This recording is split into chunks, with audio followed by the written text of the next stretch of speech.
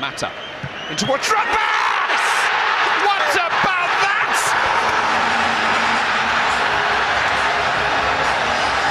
Chelsea's man for the big occasion scores his biggest ever goal in what may be his last match for the club. You can't write it. What a header that is.